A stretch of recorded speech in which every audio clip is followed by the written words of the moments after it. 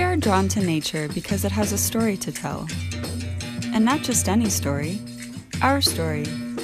We have the true privilege of sharing our origins with an unbelievable diversity of life.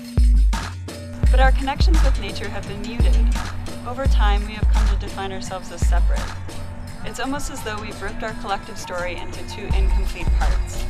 We've forgotten how we depend on nature for clean air, water, food, and shelter. Yet for many of us, wildlife still inspires a sense of wonder, of kinship. We still have an instinct that reminds us of our shared journey and our mutual need for one another. In my research, I hope to reunite these narratives in the face of modern problems. I strive to answer questions that will bring us back to common ground. How can we feed a growing population while saving the ecosystems that support us, like the rainforest, the lungs of the planet?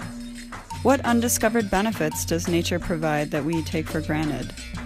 How are biodiversity and human health intertwined?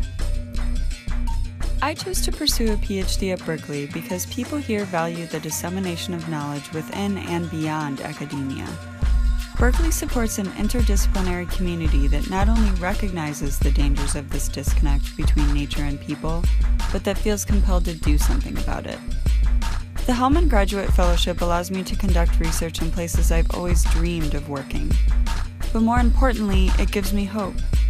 Sometimes the magnitude of these challenges can feel impossible to overcome, but receiving this support reminds me that conservation is a shared value and that I'm not alone in my search for solutions.